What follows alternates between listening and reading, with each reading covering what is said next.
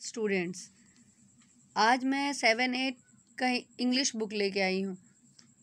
English literature English literature में इसमें waste Bengal हो या आईसीसी हो, कोई अलग स्ट्रेजडी नहीं होती क्योंकि इसमें कंटेंट जो होता है वो क्लियर होता है। वो यूनिट बाय डिवाइड नहीं होता है। तो थ्री टर्मिनल होते हैं तो थ्री पार्ट्स में डिवाइड किया हुआ है यहाँ पे जैसे। तो फिफ्टीन चैप्टर्स हैं ऑल वन टू फिफ्टीन तो three first terminal fifth two आ गया तो सिक्स टू टेन आएगा। तो मैं सिक्स से ही इसको ले रही हूँ, six chapter, page forty two. No longer helpless ये जस्ट एक लिटरेचर है तो एक स्टोरी है। पूरा स्टोरी को तुम लोगों को पढ़ना है। स्टोरी पढ़ने के बाद ये ये ध्यान में रखना है। वर्ड मीनिंग सभी को लर्न करना है। वर्ड मीनिंग राइटर का नेम बिकॉज़ एट में वो आता है, उसका स्टोरी लिटरेचर में स्टोरी है अगर स्टोरी आपके माइंड में रहेगा तो आप एक्सरसाइज बहुत आराम से फॉलो कर सकते हो। फिर आते हैं हम लोग नेक्स्ट चैप्टर में। क्वीन ऑफ़ द स्काइज ये एक्चुअली स्टोरी नहीं है, ये बायोग्राफी है दुर्गा बनर्जी का। तो इससे पहले वाला क्या था? वो स्टोरी था। लेकिन ये बायोग्राफी है दुर्गा बनर्जी का, जो इंडिया की फ़र्स्ट वुमेन पायलट थी। तो इनके बारे में तुम लोगों को, ये इंटरव्यू दिखाया गया, इंटरव्यू स्पीच है। उनके बारे में, उनकी जैसे first started flying nineteen fifty one, उनका बर्थ ईयर, उनके फादर नेम, स्टडी, ये इन्फॉर्मेशन जस्ट तुमको अपने दिमाग में रखना है। जैसे यहाँ मैंने कुछ लाइन ऑलरेडी पहले से, जैसे my salary was only three five six, when I first join as a pilot तो इस तरीके से लाइन बना के कुछ इन्फॉर्मेशन तुम याद रखोगे तो ये चैप्टर ऐसे हो गया, तुम्हारे दिमाग में रह गया। फिर है, इसमें भी वर्ड मीनिंग वर्ड मीनिंग मैं बार बार प्रेशर कर रही हूँ कि वर्ड मीनिंग याद रखना है बिकॉज़ न्यू वर्ड्स बहुत ऐड होते हैं। अगर वर्ड मीनिंग तुमको याद रहता है तो तुम्हारा क्वेश्चन थोड़ा टर्न होकर भी आएगा तो तुम उसको सॉल्व कर लोगे खुद। थर्ड स्टोरी में आते हैं हम लोग। Mirrors, facts and fantasy. ये क्या है? हम लोग देख रहे हैं, जैसे ये अर्ली मैन का है। तो ये हिस्टोरिकल है। इसको बहुत अर्ली मैन का स्टोरी हम लोग थ्री फोर से ही पढ़ना स्टार्ट कर देते हैं। तो थोड़ा इन्फॉर्मेशन है ही, इसको जस्ट एक रीड करना अच्छे से। यहाँ रिफ्लेक्ट्स मिरर से रिफ्लेक्ट हम लोग सभी जानते हैं मिरर में हम लोग देखते हैं। तो वो मैन रिफ्लेक्ट कुछ लाइन इस तरीके से तुम लोग मार्क करोगे ब्लॉक्स बनाओगे, उस ब्लॉक्स को थोड़ा माइंड में रखना है। फिर सेम है, आपको वर्ड मीनिंग इसका भी लर्न करना है। राइटर का नेम लर्न करना है और एक्सरसाइज ट्राई करना है क्वेश्चन आंसर खुद सॉल्व करने का। फिर है ninth chapter song of freedom song of freedom poem है। पोयम आप लोगों को पूरा लर्न करना है। पोयम से बहुत सारे पोयम बहुत सारे schools eight line ten line twelve line poem लिखने देते हैं। कुछ fill fill in the blanks के रूप में पोयम ही देते हैं और राइटर नेम तो पोयम का कंपलसरी रहता ही है। इसमें भी आपको न्यू वर्ड्स यानी वर्ड मीनिंग लर्न करना है। फिर है ten chapter everything on instalments ये क्या है? कन्वर्सेशन है।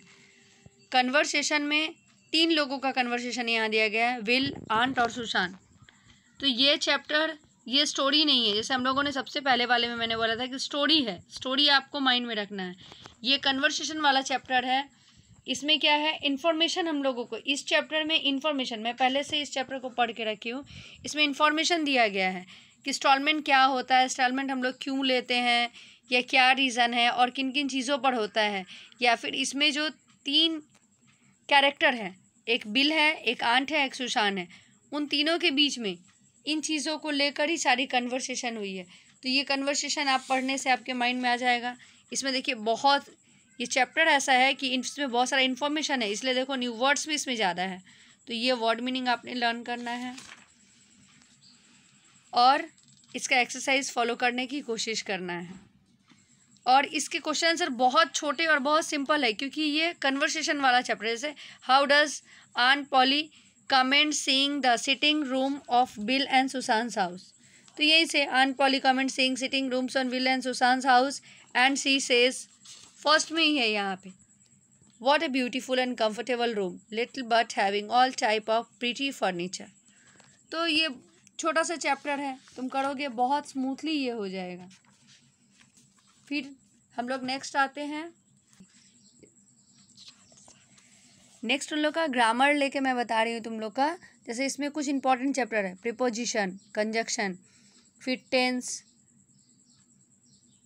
active voice, passive voice फिर डायरेक्ट एंड इनडायरेक्ट स्पीच। ये क्या है? एट ही नहीं, ये पूरा आप लोग को टेन तक जाने वाला है, जैसे प्रिपोजिशन प्रिपोजिशन में मेन क्या होता है? देखो प्रिपोजिशन का तुम डेफिनेशन लर्न कर लो। डेफिनेशन और एग्ज़ाम्पल फिर यहाँ फॉर्म्स ऑफ़ प्रिपोजिशन ये हमेशा ही यूज़ होने वाला है। पोजिशन और प्रिपोजिशन इन चीज़ों को मार्क कर, करके जस्ट डेफिनेशन तो एकदम लर्न लर्न करना है मैंने लर्न बाय हार्ट और एग्ज़ाम्पल दो तीन बस दिमाग में रखना है। ये सारे स्ट्रक्चर को आपको जस्ट रीड करना है। उसके बाद जितने भी एग्जाम्पल्स दिए हुए हैं या ये नोट्स दिए हुए हैं, इन चीज़ों को तुमको नोट्स दिया हुआ है मतलब आपको याद रखना है। फिर आते हैं नेक्स्ट चैप्टर मैंने क्या कहा था? कंजक्शन कंजंक्शन हम लोग सभी जानते हैं ज्वाइनिंग वर्ड्स में आता है तो ज्वाइनिंग वर्ड्स के तुमको कुछ एग्जाम्पल्स देखने हैं। इसका भी मेन है डेफिनेशन लर्न करना है एग्जाम्पल्स कुछ रखना है। कंजंक्शन कैसे यूज़ होता है? कंजंक्शन कैन बी यूज़ ये जैसे स्ट्रक्चर यहाँ दिया हुआ इस स्ट्रक्चर को बहुत अच्छे से आपको दिमाग में रखना है। पर्टिकुलर तुम लोग को ये देखना है कि सारे चैप्टर में जो नोट दिया हुआ है, जैसे लिटरेचर में मैंने क्या कहा था? वर्ड मीनिंग लर्न करना है सबको। बिकॉज़ उसमें न्यू वर्ड्स होते हैं, तुम्हारा इन्फॉर्मेशन कैपेसिटी बढ़ेगा। इसमें नोट जितना दिया हुआ है, उसको बहुत अच्छे से मैं लर्न करने नहीं बोल रही हूँ, पर उसको तुमको याद रखना है। दिमाग में उसको स्टॉक में जस्ट जमा करके रखना है, जिसको तुम एक समय आने पे निकालोगे। फिर आता है नाइन चैप्टर टेंस टेंस हम लोग जानते हैं कि जब तक हम लोग इंग्लिश पढ़ेंगे, तब तक हमारे टेंस का यूज़ तो होना ही है। और ट्वेल्थ तक तो बाकी सारे चीज़ जैसे कंजक्शन इंपॉर्टेंट है प्रिपोजिशन यू नो थोड़ा आर्टिकल भी आता है, वैसे टेंस भी बहुत इंपॉर्टेंट है। टेंस में है, हम लोग सभी जानते हैं, उसके पार्ट्स जो हैं तीनों प्रेजेंट पास्ट फ्यूचर उन तीनों के बारे में, तीनों का एग्ज़ाम्पल दिमाग में रखना है डेफिनेशन रखना है। यहाँ देखो मैंने बहुत सारा सिंपल प्रेजेंट टेंस और प्रेजेंट इंडिफिनिट टेंस सब अलग अलग डिवाइड किया हुआ है। प्रेजेंट कंटिन्यूस से tense present perfect tense present perfect continuous tense इन सभी चीज़ों को और सारे बुक्स ही, किसी भी पब्लिशर का वो बुक हो, सब में ऐसे अलग डिवीज़न करके दिया होगा। जिन सारे को तुमको पहले नोट करना है और एग्ज़ाम्पल देकर समझना इनके जहाँ प्रॉब्लम होता है, वहाँ आपके लिए गूगल तो है ही। वहाँ पूछ लो या वहाँ हेल्प ले लो या अपने पेरेंट्स का हेल्प ले लो, जो कि अभी लॉकडाउन है, या फिर ज़रूरत पड़े तो अपने टीचर से कांटेक्ट कर लो। यहाँ देखो जैसे नेक्स्ट है, पास्ट कंटिन्यूस टेंस। इसका पूरा यहाँ पे दिया हुआ स्ट्रक्चर इसमें देखो, कैसे कंप्लीट करके जो एग्जाम्पल्स दिए हुए हैं, उन एग्जाम्पल्स को तुम पढ़ते हो तो तुमको बहुत कुछ पता चलता है कि यहाँ कहाँ पे क्या चेंजेस है। मेरे पास उतना स्टडी मटेरियल अभी अवेलेबल नहीं है या टाइम का भी थोड़ा प्रॉब्लम है, इसलिए मैं डिटेल में नहीं बढ़ा रही। लेकिन जैसे मैंने इसको पर्टिकुलर तुम लोगों को मार्क किया है सेपरेट वैसे मार्क कर करके पढ़ोगे तो तुम्हारे दिमाग में वो चीज़ रहेगा। इसीलिए मैं हर पॉइंट को मार्क करके तुम्हें दिखा रही हूँ। उसके बाद आ, आता है another chapter change of voice change of voice में भी स्पेशली इस बुक में देखो active passive rules of change voice सभी का दिया हुआ है। एक्टिव पैसिव समय change into is am are plus past participle of word सभी को अलग अलग डिवाइड किया हुआ है। एकदम सेपरेट है। तुमने सबको ऐसे मार्क करना है। सब में रूल्स भी दिया हुआ है। यहाँ पे हम लोगों ने क्या क्या देखा था? Is am are past participle of verb फिर यहाँ पर देखेंगे इज़ एम आर यहाँ पे बींग ऐड हो गया पास्ट पार्टिसिपल ऑफ़ वर्ब यहाँ पे हैज़ हैव बीन पास्ट देखो सब में अलग अलग है और सब का एग्ज़ाम्पल दिया हुआ है कि कैसे यूज़ करके उसका दिखाया गया है। Past continuous tense past perfect tense future indefinite tense future perfect tense अब ये सारा तुम ऐसे विथ एग्ज़ाम्पल पढ़ने के बाद, ये खुद सॉल्व करोगे। कुछ भी प्रॉब्लम होने से फिर तुम गूगल या अपने ट्यूशन टीचर या पेरेंट्स का हेल्प लोगे। फिर नेक्स्ट आते हैं हम लोग direct and indirect speech direct and indirect speech में भी सेम है। यहाँ देखो रूल्स दिया रूल्स वन टू ये सारे जो एग्जाम्पल्स हैं डायरेक्ट को इनडायरेक्ट करके यहाँ दिखाया गया है। अब तुम देखोगे कि यहाँ क्या चेंजेस है। रूल्स थ्री फोर और सब का एग्ज़ाम्पल है। सबसे बड़ी बात है कि सबका एग्ज़ाम्पल के साथ है। यानी तुमको समझने में कोई परेशानी नहीं होगी। इन सबको तुमको नोट करना है और रूल्स को जब तक बार बार तुम सेंटेंस को चेंज करोगे, तभी सारे रूल्स जो है वो तुमको याद होने वाले हैं। जितना ज़्यादा प्रैक्टिस करोगे, उतना ज़्यादा तुम्हारे दिमाग में ये रहेगा।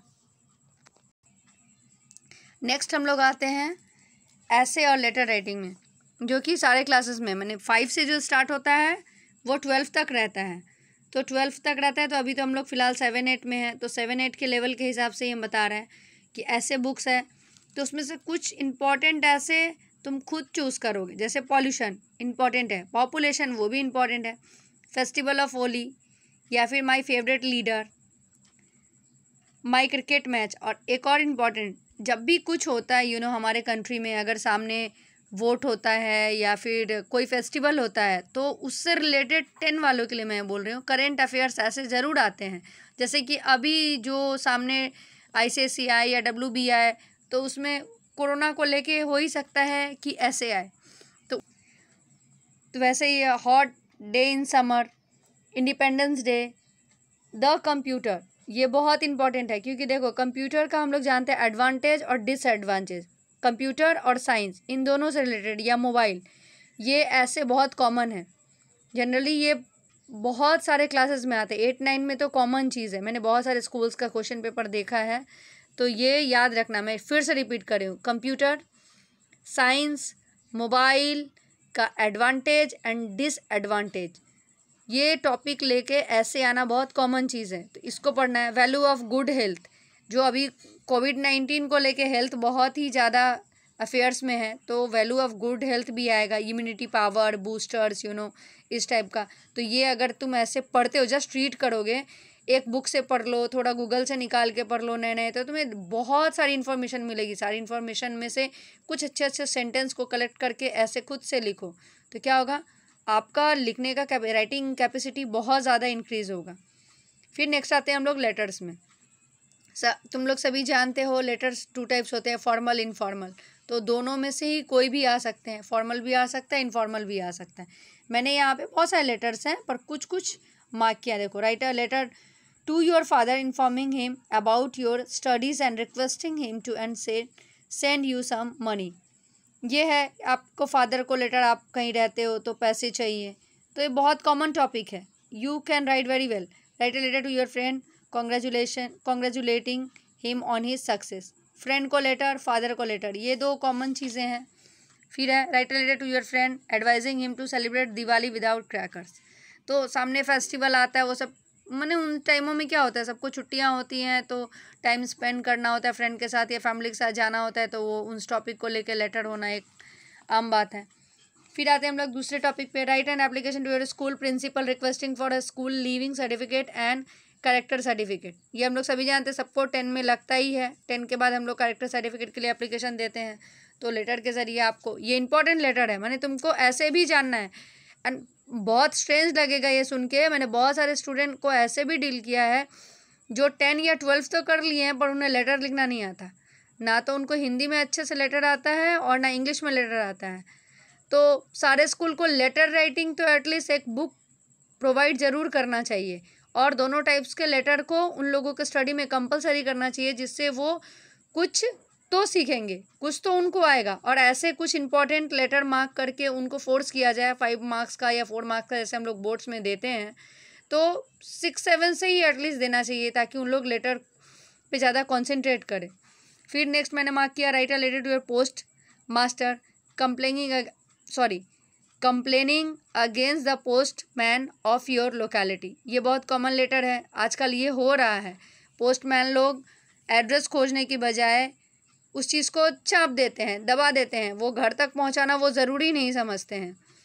फिर write letter to your health officer drawing is attention in तो ये हम लोग ऐसे बहुत सारे writer letter to editor the Times of India about the scarcity of water in your locality हम लोग सभी जानते हैं, पानी अभी एक कॉमन मुद्दा है। हर जगह ही पानी की प्रॉब्लम है। तो इसके लिए हम लोगों को लेटर आना चाहिए, जो हम लोग, ये तो न्यूज़पेपर में हमने दिया है। हम लोग म्यूनसिपल कॉरपोरेशन में एप्लीकेशन लिखने के लिए किसी और को ना बोलना पड़े। तो छोटी छोटी वो लोग ऐसे ट्राई करेंगे छोटे छोटे लेटर तो इन फ्यूचर वो लोग अच्छे हो जाएँगे। और ये सिलेबस में इंक्लूड है। डब्ल्यूबी में तो लेटर आता ही है। इसलिए उन लोग को प्रैक्टिस करना चाहिए। तो स्टूडेंट तुम लोग ये करोगे। और मे बी मुझे ऐसा लगता है कि इतनी सारी प्रैक्टिस करने के बाद तुम लोगों का इंग्लिश में बहुत हद तक सेवेंटी परसेंट तो प्रिपरेशन हो जाएगा। Thank you so much stay home save life bye bye